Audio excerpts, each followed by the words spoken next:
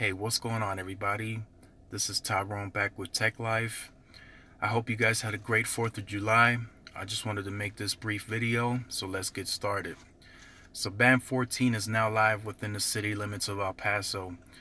I've been reading a lot of different tech blogs that have reported sightings of Band 14, but it was more towards rural America and outside of the city limits.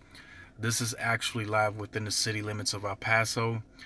So this is definitely a good sign. I know AT&T has been very busy here adding more panel support to the towers. Some of those panels, they are able to do dual frequencies. So this has not been able to aggregate with anything. From what I've seen is just a single carrier LTE on Band 14. So speeds aren't that great on it, as you can see.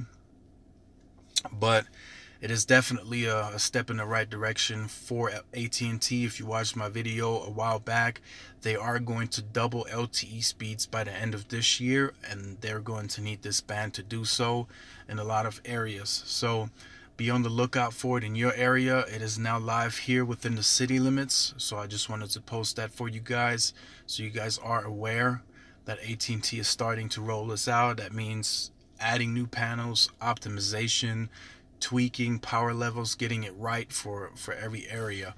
Now, this is probably not going to go on every tower. I don't think. If it is, then they're going to have it in low power mode and tilt it for capacity needs. But they are definitely working on rolling this out across the US and it is now live here within the city limits. So this makes uh, uh, five carriers live here for AT&T. Four of them are aggregated. The fifth one isn't yet, which is of course band 14, but I will let you guys know once it starts aggregating with other bands and how the speeds are.